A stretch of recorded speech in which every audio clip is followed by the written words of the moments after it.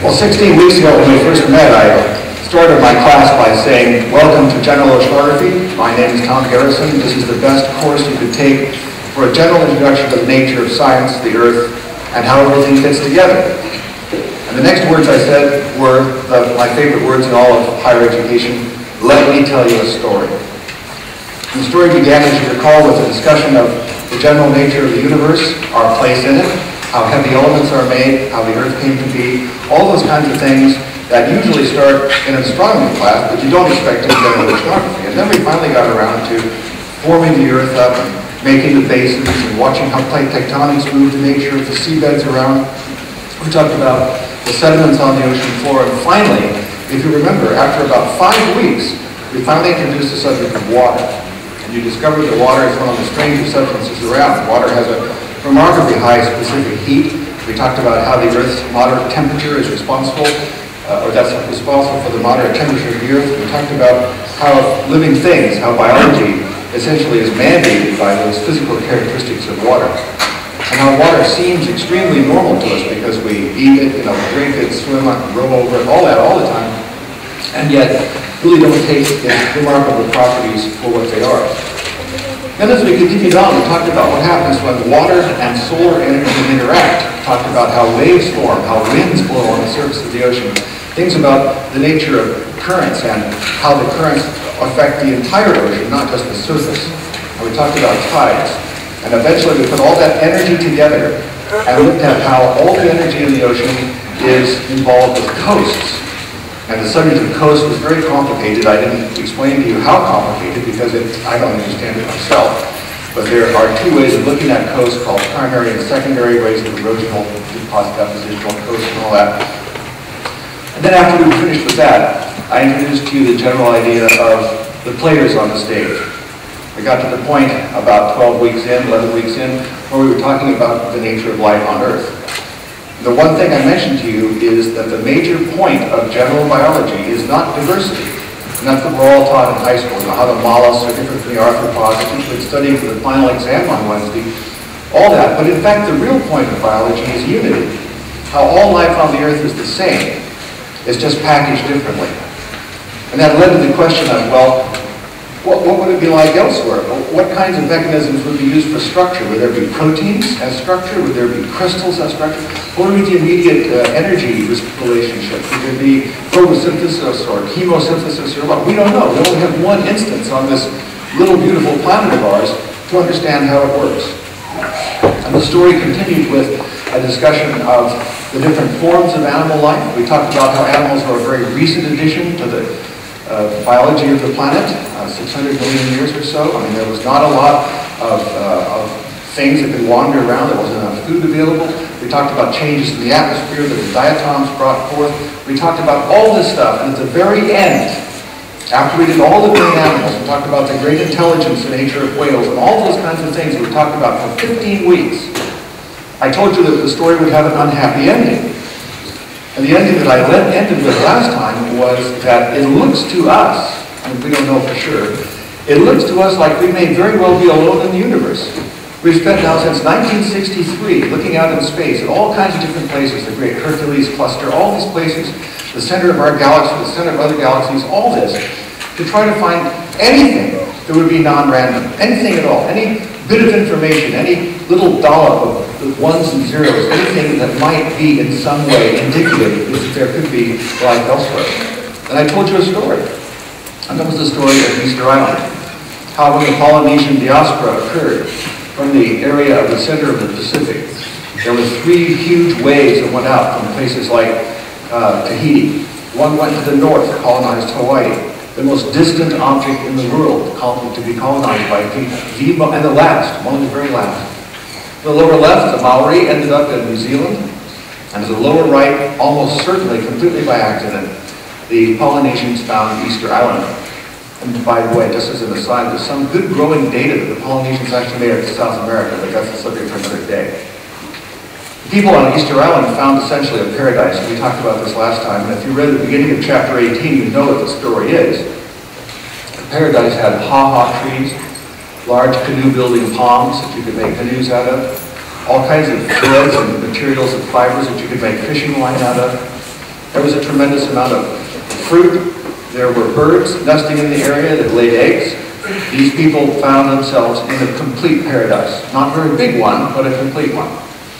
And over the course of about 400 years, which isn't that long, these people, like fruit flies in a bottle, bred themselves out of that environment.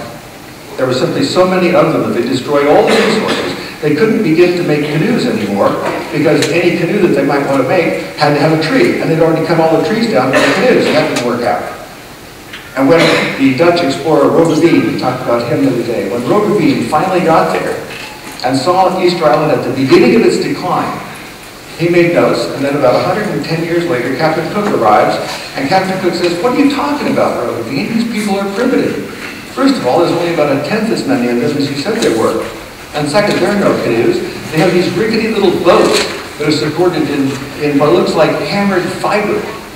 They can hardly go out to the reef to get food. And then later the civilization completely collapsed after Cook left. And we know this from paleontological data, that is data looking at pollen grains that are embedded in sediments in the area of Easter Island on land. And they know from the pollen grains that the population apparently died precipitously. These people were actually burning the grasses to expose the hiding places of the bad guys.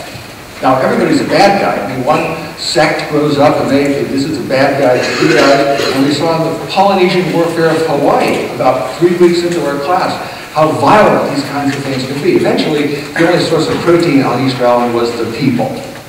And when the uh, colonizers, the missionaries arrived in Easter Island, it is over. All these moai, these things that you see right here, they've been tipped over into pits, their faces shattered by spikes. These are either replicas or ones that were completed or whatever, put back on there. Nobody knows what they were looking for. And these people lived in abject misery. They had completely overbred their situation. You think, well, that's all very interesting, Dr. Science, but so what? Well, as I also mentioned to you last time, we have entered ourselves into a period of what, for lack of a better term, could be called inadvertent global experimentation. I gave, as an example, I gave the replacement for ammonia in refrigerators, as an example. I remember that before the Second World War, ammonia was blinding people because women, mostly women, would be uh, chipping out ice from their freezers and they'd puncture a coil and they get a face full of pure ammonia gas, which if they happen to be breathing in at the time, would be lethal.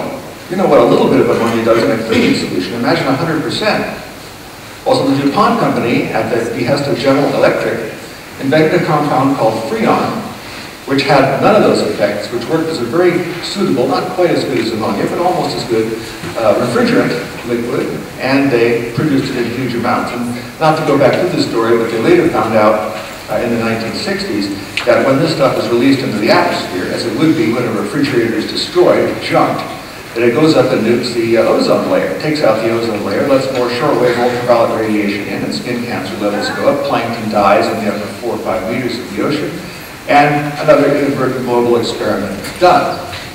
All these kinds of things, all the ones we've talked about, all the business of making plastic. Plastic doesn't shatter. I remember when I was a kid, my mother dropped a shampoo bottle in the shower and it shattered. And you immediately get out very gingerly, carefully, you know, watch out for the shards of glass. Not anymore. We don't have glass shampoo bottles anymore. They're all plastic. There are advancements. At the same time, plastic is a completely non-biodegradable thing. No enzymes in any kind of biological system can touch plastic. And it may abrade, it may get smaller and smaller to the point now where filter feeders in some parts of the world are mainly filtering bits of microscopic plastic out of the water instead of nutritious food. Again, another story. But all these different kinds of things, all these mechanisms involved that look great to start with end up having consequences in inadvertent experimentation. We don't know where some of these things are going to go. Sometimes we figure it out. In the case of Freon, there have been substitutes for Freon that have been found in all of the air conditioners now. If you have a car that was built after 1974, that all has this special spew in it that doesn't hurt the, uh, the high atmosphere ozone. But it gets back to another problem, you know, a problem that I hinted at when we were talking about this last Wednesday, and that is the business of growth. And if you think the Chinese economy is growing this year at a rate of about 9.5%, actually, sorry, last year, 8.5% this year, 9.5 last year, We're all upset because the United States GDP is growing at about a 2.2% annualized pace right now. You know, everybody wants it to be about 5% to get jobs back and all that. Wonderful, a very good idea because the economic model we have, the entire Western world anyway, is based on growth. Well, it's just exactly like the Easter Island situation if you think about it. Because how long can you sustain that kind of growth? How long can you have, essentially, every year has to be better. Every house price has to go up. Everybody has to make more money. Everybody has to do all this sort of thing. What's going to happen? You can see what's going to happen. You don't have to be, you know, a rocket scientist to figure out that unlimited growth isn't going to work. On October 31st, interesting date, we passed 7,000 million people in this country. Seven, I mean in this world, 7 billion people.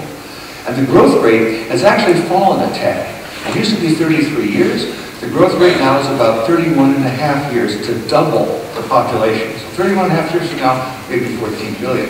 What's the carrying capacity of the planet? Well, if everybody shares, you know, the, the maximum, minimum amount of space, and every place that can use to make food is making food, and all income is equally distributed, all processed income, that is food and all the rest is equally distributed, we could probably have a carrying capacity of maybe 20 million uh, humans on the earth, 20 million. We're obviously not going to get to that. We had a speaker last year in our, in our uh, uh, honor speaker forum who talked about the great crisis. And the great crisis is not going to be oil, although we kind of think that. It's going to be water. Access to clean, functioning water. It's going to be the thing that will limit populations. And the oil wars that we're going to see in the next few years, those are going to be something, but the water wars may be even more interesting. And the problem we've got is, I mentioned this too, a sort of business of magical thinking. Well, it'll all be fine. You know, we, we, they'll, they'll, maybe religion will solve the problem. I don't think so. Maybe this, maybe, you know, somebody, maybe if we vote for the right presidential candidate, that'll all get sorted out. No. At some point, somebody has to say, let's look at this. Let's look at this critically. Let's see what can be done. Now let me tell you right now, you people who are sitting there, you're not average.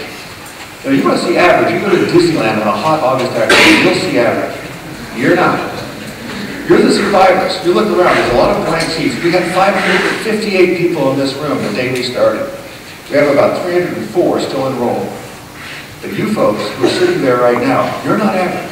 You're going to have to make the thoughtful decisions and make some ideas, make some, make some judgments that will maybe get in the way of the immediate maximization of every possible thing that you might want, whatever it would be. We'll think of that. But the critical point here is you've got to think about stuff. That's what we do in higher education. That's what you're invited to do. We don't give you the answers. Our greatest goal is to work ourselves out of a job. You can be your own professor after a while. We'll show you how to get the information. We'll step out of the way and let you go get it. As I mentioned to start, one of the critical points, one of the most dangerous points is, excuse me a sec,